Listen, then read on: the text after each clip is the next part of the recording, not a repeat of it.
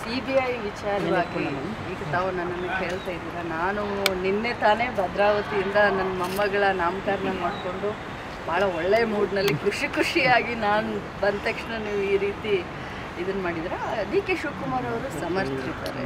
ಯಾವುದೇ ಕಾನೂನು ಹೋರಾಟ ಆಗಲಿ ಏನೇ ಇರಲಿ ಅವರು ಸಮರ್ಥರಿದ್ದಾರೆ ನಿಭಾಯಿಸ್ತಾರೆ. ನ್ಯಾಯದ ಮೇಲೆ ನಮಗೆ ಗೌರವ ಇದೆ. ನಮ್ಮ ದೇಶದ ಸಂವಿಧಾನದ ಬಗ್ಗೆ ನಮಗೆ ಗೌರವ ಇದೆ.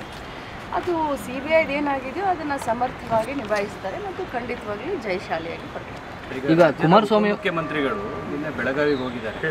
ಬೆಳಗಾವಿ ಭಾಗದ ಯಾವ ಶಾಸಕರುಗಳಾಗಲಿ ಅವರನ್ನು ಸ್ವಾಗತ ಮಾಡಲಿಕ್ಕೆ ಹೋಗಿಲ್ಲ. ಒಂದು ರೀತಿ ಮುಜುಗರ ಆದಂಗೆ ಆಗಿದೆ ರಾಜ್ಯದ ಉಪಮುಖ್ಯಮಂತ್ರಿ ಜಿಲ್ಲೆಗೆ ಬಂದಂಥ ಸಂದರ್ಭದಲ್ಲಿ ಜಿಲ್ಲಾಧ್ಯಕ್ಷರುಗಳಿಲ್ಲ ಶಾಸಕರುಗಳಿಲ್ಲ ಸಚಿವರುಗಳಿಲ್ಲ ಅನ್ನುವಂಥ ಚರ್ಚೆ ಶುರುವಾಗಿದೆ. ನೋಡಿ ಮೊದಲನೇದಾಗಿ ಹೇಳಲಿಕ್ಕೆ ಬಯಸ್ತೀನಿ ಮುಜುಗರ ಅನ್ನೋ ಶಬ್ದ ರಾಜಕಾರಣದಲ್ಲಿ ಇದಕ್ಕೆ ಅರ್ಥ ಕಲ್ಪಿಸ್ಬೇಕಾಗುತ್ತೆ ಯಾಕಂದರೆ ಅದನ್ನು ಬಿಟ್ಟು ಹೊರತಾಗಿ ನಾವು ರಾಜಕಾರಣ ಮಾಡಬೇಕಾಗುತ್ತೆ.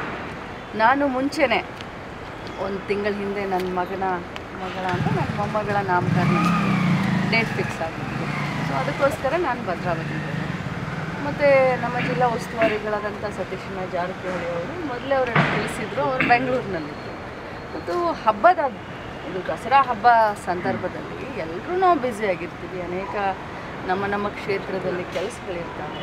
ಸೊ ಏನೇನೋ ಕಾರಣಗಳನ್ನು ಎಲ್ಲರೂ ಆಲ್ರೆಡಿ ಎಲ್ಲರೂ ಮಾತಾಡಿದ್ದಾರೆ. ನಾನು ಕೂಡ ಅಧ್ಯಕ್ಷರ ಗಮನಕ್ಕೆ ತಂದರೆ ನಾನು ಕೂಡ ಭದ್ರಾವತಿ ನೀವು ಏನಾದರೂ ಹೇಳಿದ್ರೆ ಮೇಡಮ್ ರಿಸೀವ್ ಮಾಡ್ಕೊಳಕ್ ಆಗೋದಿಲ್ಲ ನಮ್ಮ ಕಾರ್ಯಕ್ರಮ ಫಿಕ್ಸ್ ಆಗಿದೆ ಅಂತ ನಾನು ಅಧ್ಯಕ್ಷರಿಗೆ ಮುಂಚಿತವಾಗಿಯೇ ಈ ರೀತಿ ಹದಿನೆಂಟನೇ ತಾರೀಕು ಮೊಮ್ಮಗಳ ನಾಮಕರಣ ಇರೋದ್ರಿಂದ ನಾನು ಹೊರಡ್ತಾ ಇದ್ದೀನಿ ಅಂತ ಮುಂಚಿತವಾಗಿ ನೋಡ್ಕೊಂಬ